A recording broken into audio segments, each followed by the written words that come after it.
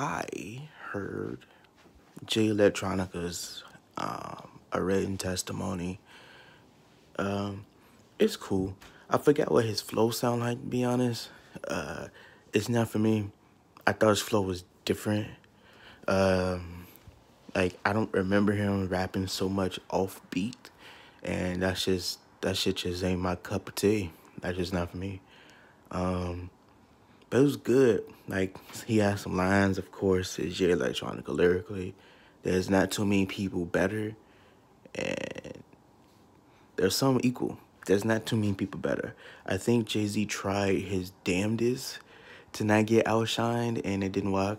Um, this is probably the most smartest Jay Z flows you will ever hear. I don't like Jay Z at all, so it's hard for me to say good things about him, to be honest. Um, but most of the stuff is just same old shit, cocaine, corrupt system type shit. While Jay Electronica was just like open your third eye type shit, uh, ancient Egypt, be all kings and queens type shit.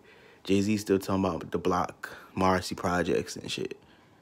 Like, dude, dude, fill the room. Um, but it was it was okay. Like, uh, it's not something I would necessarily go bump again. Uh, I do have um, a Neverending Story in my playlist. Um, it's just lyrically like crazy. Like it's one of the best songs. The beat is cool. Uh, most of the songs start off with like um, an interview or like a a speech from or rally.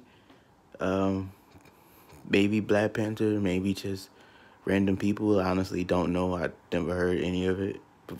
It doesn't sound familiar at all to me. Um, but it's cool. Like it's not like ugh. And like I like Jay Z felt preachy.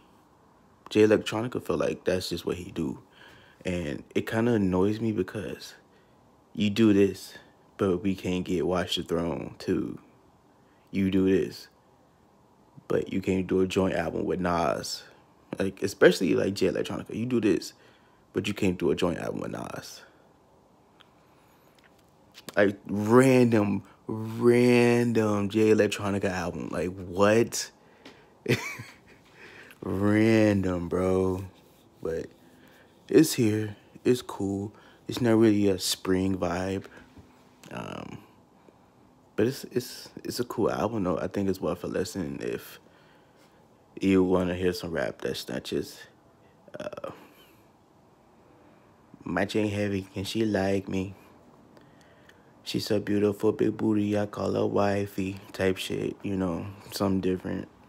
But yeah, Jay Electronica, um, a written testimony is good.